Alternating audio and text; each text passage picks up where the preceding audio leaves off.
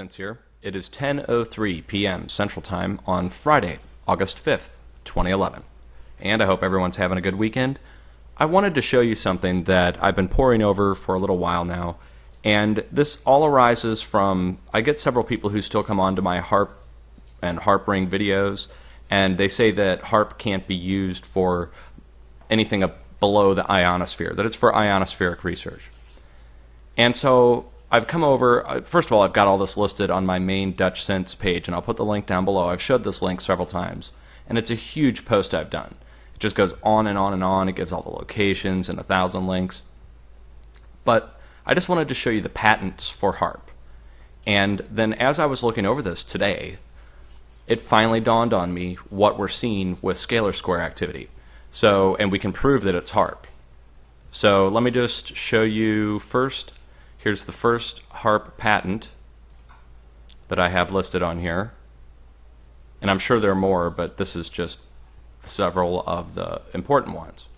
And here it is. This should debunk anybody who says that it's only for the ionosphere. Artificial ionospheric mirror composed of a plasma layer which can be tilted. And you can read all this, and I'll just read it to you. This invention relates to generation of an artificial ionospheric mirror, an AIM, or a plasma layer in the atmosphere. Now, just stop right there. A plasma layer in the atmosphere. Okay, and uh, there is no plasma layer in the atmosphere. It has to be created. And the way you create a plasma field in the atmosphere is through spraying of certain particles up in the atmosphere that aid in frequency manipulation to cause a layer of plasma. And that's the the wave. See these waves here? That's the wavy HAARP cloud that we all see from time to time, and they call it HAARP clouds now because they form in a wave.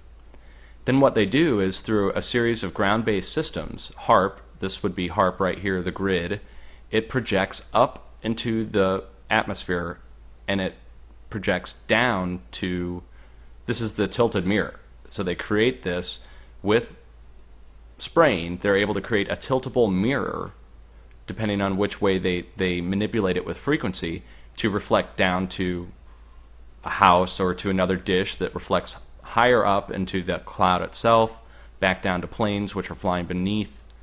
Okay? So let's go on. The aim is used like the ionosphere to reflect RF energy over great distances. A tiltable aim is created by a heater antenna controlled in phase and frequency. The heater antenna is the ground based system, the dish, the HAARP ring that we're seeing. And they're launching it from HAARP or from other facilities. It comes back down to the ground based system that then relays it on. And so we're seeing these relay systems pop up from time to time at different cities and different spots. They've apparently put them at NexRad sites. Let me continue on. The heater antenna phase shift scans a beam to paint a plasma layer. In other words, it's, it scans out a beam, and we see the beams in what several of the HAARP researchers call beam attacks. And it's not actually an attack now, I think we can determine. It's actually part of the same system. Frequency is changed to refocus at continually higher altitudes to tilt the plasma layer. Okay, and that explains our concentric rings inside of each other. As they go up, they change frequency and it goes basically through the spectrum. Now, okay, that's this patent here, and they've got a couple diagrams, how how it's the control module, focus points, that kind of stuff. But I want to take you back now and take you one patent down. Is it still part of this first one?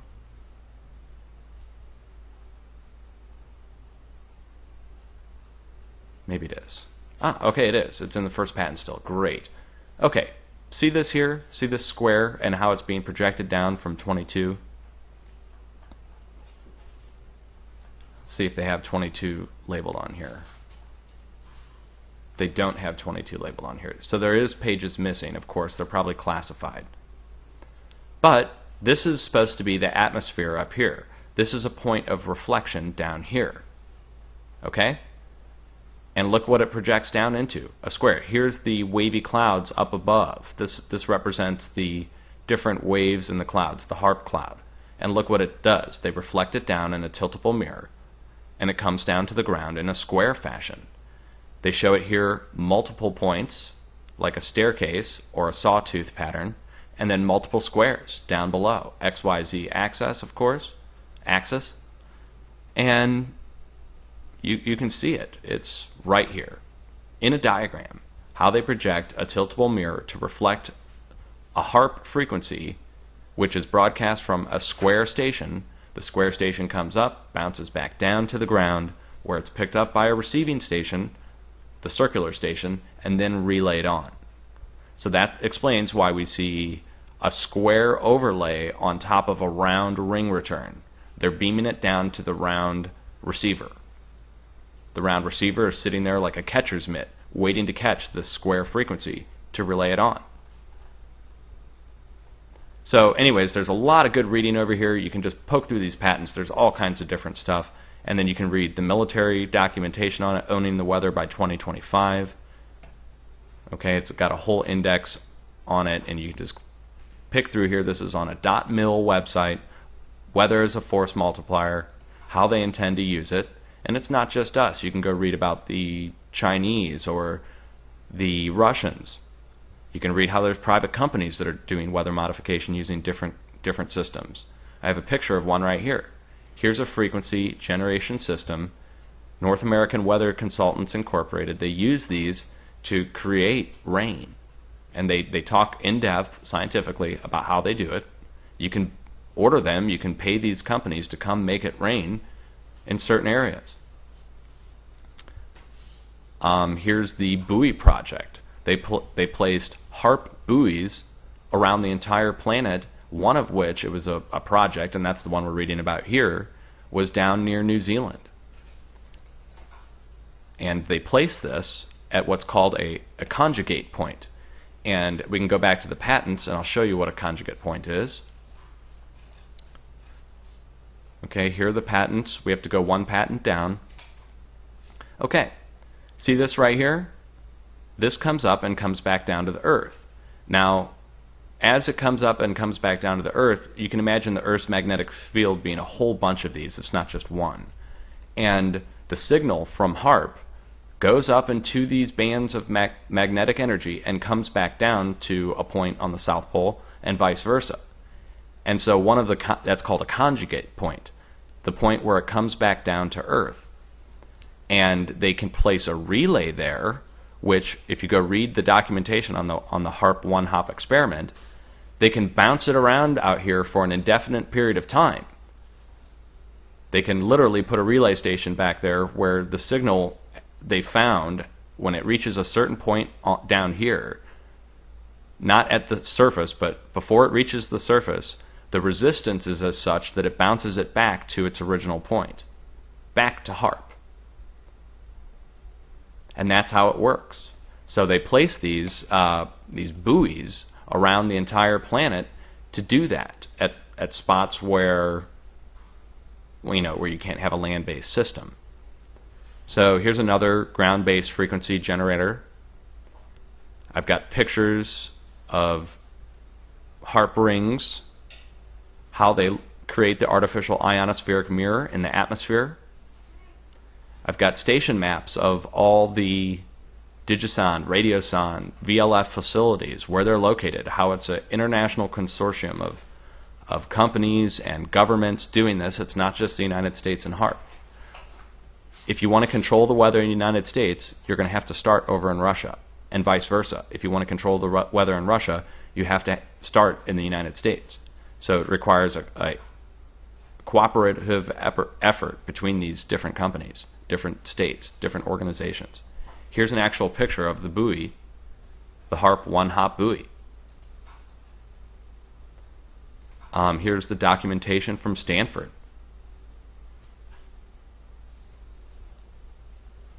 Read the abstract, the whole introduction. It's a pretty long PDF. It explains in depth how they intend to measure it, how they built it, its moorings, how it was moored, how they're going to deliver it, the whole bit. So I hope this answers some questions. Um, there is one other thing I could show you here really quickly, I suppose. And that would be just some shots of it, of the HAARP ring and the scalar squares, in case you're new to this topic and you have no idea what we're talking about. And this link will be down below as well. This is on my blog, and it's descriptions of how it works. And these come from government documents. These are not just made by someone. Okay, here's an actual 3D cloud shot, so you know it's not just on radar. It actually occurred on cloud cover too. Diagrams of how the radar flares occur, and then shot after shot of of different types of systems they're using. This is out of Minot, North Dakota, several years ago. Here's a shot I did: the concentric rings, the catcher's mitt that's waiting for the HAARP signal. Here's a vortex generation system. Again, frequency manipulation. Here are the scalar squares that I'm talking about. These are the squares that come down on top of the rings. You've got a ring that appears and then a square that appears on top of it. Or the cooling or heating of a storm, as seen by this. I captured this in the middle of winter. Here it is on 3D radar. More shots of it. This is in Australia, the Jorn spiral. Here we go, going back to 2005. Here's one showing up on an actual photo. The size of, of the, the area that they can actually broadcast out to. Here's one I did myself. This was this past winter out of the base in the Northwest. This is how they can happen all in the same day. They, they do this as a relay. You see how it first goes there, then it probably goes up off the atmosphere, back down to here, up off, back down to here. Another good shot of it.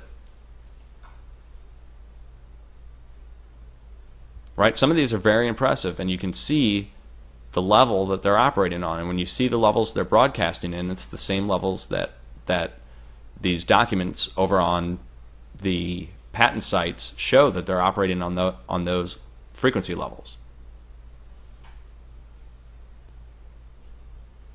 Right? This is not your normal NexRad signatures. These are flares that appear like this one up here. It's like a giant target. So we, you can just keep on. Whoop. Sorry. you can just keep on going down the list here